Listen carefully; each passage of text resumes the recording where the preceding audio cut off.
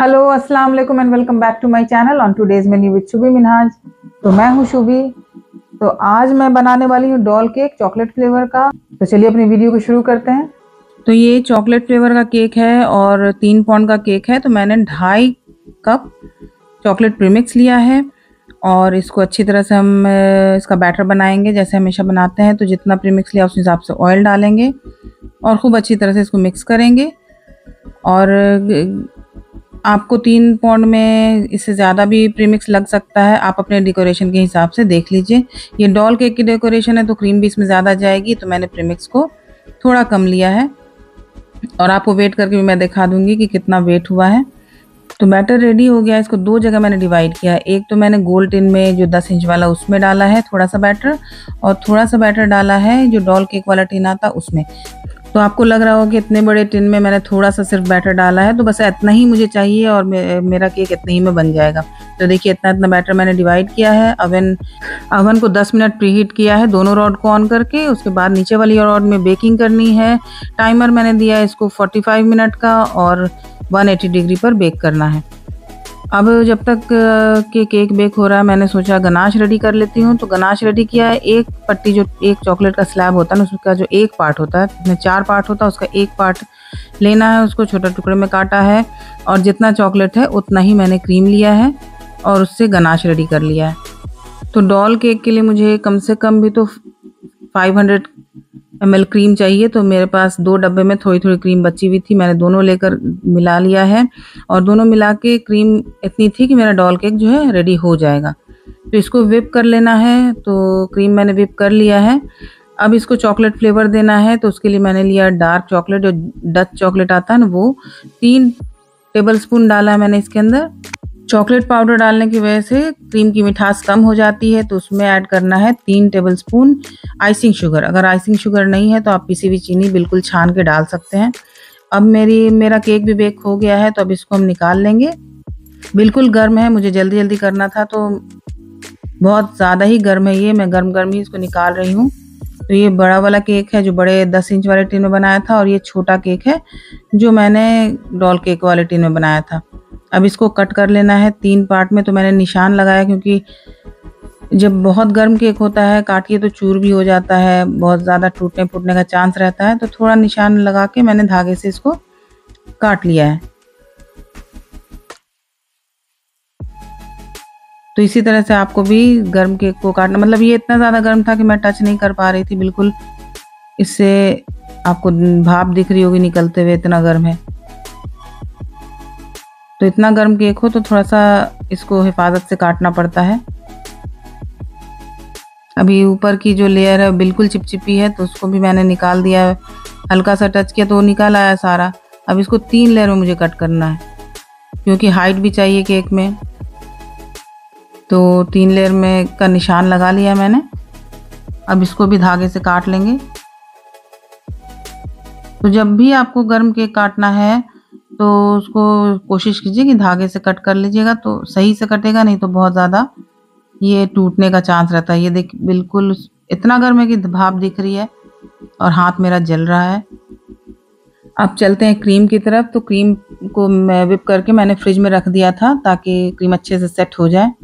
और इसको piping bag में भर लिया। अब इससे ही मुझे इसकी आइसिंग करनी है मतलब लेयरिंग करनी है और फ्रॉस्टिंग वगैरह करनी है। तो बोर्ड लिया है थोड़ा बड़े साइज़ का। इस पर हम सबसे पहले बड़े वाले केक की लेयरिंग कर लेंगे। तो पहली लेयर मैंने रखी और बिल्कुल ठंडा पानी लिया है, क्योंकि केक बहुत ज़्यादा गर्म था, आपने देखा ही है। तो उतने गर्म केक को अगर आप क्रीम लगाइएगा तो क्रीम आपकी मेल्ट हो जाएगी। और केक जो है टेढ़ा मेढ़ा हो जाएगा अच्छा नहीं होगा। तो थोड़ी देर देर तक तो मैंने फ़ैन ऑन कर दिया था तो थोड़ा ठंडा हो गया था। उसके बाद मैंने ठंडे पानी से इसको सोख सोख कर दिया तो बिल्कुल ठंडा हो गया। तो बस ऐसे ही हमें थोड़ा सा छोटी छोटी बात का ख्याल रखना है और उस हिसाब से काम करना है, क्योंकि जब हम घर में केक बना के देते हैं किसी को तो लोग कभी भी ऑर्डर दे देते हैं। मतलब दो घंटे पहले भी अगर हुआ तो ऑर्डर दे दिया, एक घंटे पहले भी ऑर्डर देते हैं लोग। तो और जब देते हैं तो वो ऐसे हम, हमारे जान पहचान वाले होते हैं कि हम मना भी नहीं उनको कर पाते हैं कि हम कैसे मना कर दें। फिर हमें वो ऑर्डर लेना पड़ता है और बनाना पड़ता है तो उसका, उसके लिए सोचना पड़ता है करना क्या है। तो देखिए लेयर पे क्रीम भी लग गई चॉकलेट गनाश भी लग गया और चोको चिप भी डाल दिया। और इसी तरह से मैंने दोनों लेयर को सेट कर लिया था। अब छोटे के वाले केक की तरफ़ चलते हैं। और इसकी लेयरिंग भी हम सेम प्रोसेस से कर लेंगे। पहले सोकिंग फिर क्रीम लगानी है, फिर गनाश चोको चिप जो भी आपको लगाना है वो लगा लीजिए। डेकोरेशन कैसी है, अच्छी है, ख़राब है तो इसको जानने के लिए आपको वीडियो एंड तक देखना ज़रूरी है। तो वीडियो को एंड तक ज़रूर देखिएगा। तो देखिए, इसकी भी, इस पर भी क्रीम लगा दिया मैंने, इसके ऊपर भी गनाश लगाना है और चौको चिप लगाना है, इसी तरह से हम इसकी भी तीनों लेयर को सेट कर लेंगे। मटेरियल आप जितना डालिएगा, उतना अच्छा आपका केक होगा, ये बात तो पता ही है। तो मैं कभी भी मटेरियल डालने में कंजूसी नहीं करती हूँ, हमेशा अच्छे से सब सामान डालती हूँ, वो आप देखते भी होंगे मेरी वीडियो में। तो फिर मेरा ये तीनों लेयर सेट हो गया था फिर क्रीम लगाई है और इस तरह का सॉफ्ट स्क्रेपर लेना है। तो तीनों लेयर को सेट करने के बाद डॉल की क्रीम लिया मैंने और डोम शेप होता है ना ये अच्छा बनेगा। तो सॉफ्ट वाला जो इस तरह से स्क्रेपर होता है ना उससे इसको बिल्कुल बराबर कर लेना है। ये गोल वाला जो भी केक होता है वो। तो ये मेरा बराबर हो गया है। अब ये वाला जो बड़ा वाला केक था उसकी एक क्रम कोटिंग मैंने करके रख ली थी। और इस ये जो डोम शेप वाला केक है ना इसको इसके ऊपर रखना है तो बस। छोटा सा था आराम से पैलेट नाइफ से उठ गया और इसको यहाँ रख लिया।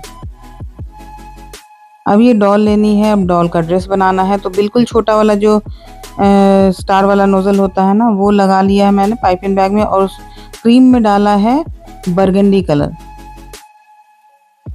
और बरगंडी कलर से मैं इसकी ड्रेस बना रही हूँ।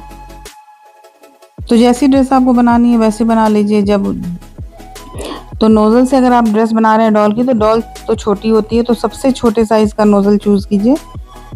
उससे बनाइए, नहीं तो फिर क्रीम लगा के छोटे से स्क्रेपर से बराबर करके भी डिफरेंट तरह की ड्रेस बनती है, वैसे भी बना सकते हैं। तो छोटी बच्ची के लिए केक था तो उन लोगों को इस तरह की चीज़ बहुत पसंद आती है बच्चों को। तो मैंने उस, जैसे बच्चे को पसंद आती है, उस टाइप की डिज़ाइन सोची और उस हिसाब से कर रही थी। जो भी डिज़ाइन बनाइए सिमेट्री रखिए उसमें बराबर रहनी चाहिए लाइन ऐसा नहीं कि कुछ इधर से डाल दिया, कुछ उधर से डाल दिया तो फिर आपका कोई भी काम नीट एंड क्लीन नहीं लगेगा। तो पैटर्न बहुत इंपॉर्टेंट है कि हर एक चीज़ एक सीक्वेंस में होना चाहिए।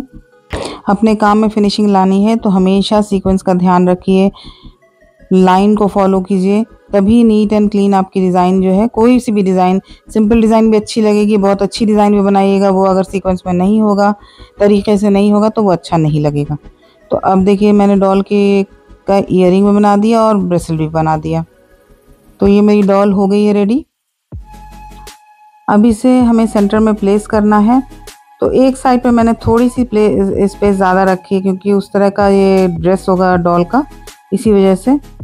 तो यहाँ पर मैंने कलर चूज़ किया है ब्राउन और बरगंडी ब्राउन तो वही चॉकलेट क्रीम है, क्योंकि बच्चे का केक है तो ज़्यादा कलर यूज़ करना अच्छा नहीं था। तो इसी वजह से मैंने वो चॉकलेट क्रीम रखी है ब्राउन कलर के लिए। तो बरगंडी कलर बनाना था तो उसके लिए थोड़ी सी क्रीम में कलर चाहिए था तो थोड़ा सा कलर मिलाया और बरगंडी शेड लाइट ही बरगंडी रखा डार्क नहीं किया। और बस लाइन लाइन से रोजेट बनाना शुरू किया। मतलब ऐसी डिज़ाइन बनाई कि जिसमें चॉकलेट वाला, वाली क्रीम ज़्यादा लगे और कलर वाली क्रीम कम लगे। तो रोजेट के लिए मैंने चॉकलेट क्रीम को एन वन नोज़ल लगाया था और ये जो बरगंडी वाला कलर जो, से जो ड्रॉप वाला फ्लावर बना रही हूँ, उसमें एन टू नंबर का नोज़ल लगाया है और बस इस तरह से गैप्स को ड्रॉप ड्रॉप से भर दिया है। अब नीचे भी वैसे ही रोजेट बना दिया है। मतलब कोशिश ये की है कि मुझे जो कलर वाली क्रीम कम से कम यूज़ करनी पड़े। सिर्फ़ ऐसा शेड आ जाए कि बच्चे को कलर भी लगे और डिज़ाइन भी कंप्लीट हो जाए। तो इस तरह से मेरी डॉल केक की डिज़ाइन कंप्लीट हो गई है। तो डॉल तो बहुत प्यारी रेडी हो गई है तो अब इसकी खूबसूरती में चार चाँद लगाना है। तो उसके लिए क्या कर रही हूँ मैं? गोल्डन लस्टर डस्ट भर रही हूँ। ये पंप का आता है स्प्रे करने वाला, उसके डब्बे में। ऐसा दो तीन डब्बा एक्स्ट्रा भी आता है। तो अलग अलग कलर का लस्टर डस्ट आप डाल के रख सकते हैं इसमें। अब गोल्डन लस्टर डस्ट जैसे ही डॉल के ऊपर जाएगा और वो इतनी प्यारी लगने लगेगी, इतनी खूबसूरत मतलब बहुत प्यारी सी डॉल लग रही थी जिसके लिए बनाया था वो बच्ची बहुत ज़्यादा हैप्पी थी इसको लेकर के। तो बस हम लोगों को क्या चाहिए, जो काम हम करें वो लोगों को पसंद आए, बस इतना ही चाहिए होता है। अब आप लोग को ये डॉल कैसी लगी वो तो आप लोग बताइएगा। अगर अच्छी लगी होगी तो इसको शेयर कर दीजिएगा अपने फ्रेंड्स और फैमिली में जिनको बेकिंग में इंटरेस्ट है। अब चलिए इसका वेट भी आपको दिखा देती हूँ। तो ये देखिए 1613 ग्राम का हुआ है। तो मेरी ये वाली डेकोरेशन आप लोगों को कैसी लगी कमेंट में ज़रूर बताइएगा। वीडियो मेरी अच्छी लगी होगी तो इसको लाइक शेयर सब्सक्राइब कर दीजिएगा। बेल आइकन भी प्रेस कीजिएगा नोटिफिकेशन के लिए। अब यहाँ मैं एक कैंडल लगा दूँगी एक साइड पे और एक साइड पे बर्थडे का टॉपर और मेरा केक कम्प्लीटली रेडी हो गया। तो चलिए, कल फिर मिलेंगे हम इसी तरह की कोई अच्छी सी डेकोरेशन के साथ। तब तक अपना पूरा पूरा ख्याल रखिए, दुआ में याद रखिए। अल्लाह हाफिज़।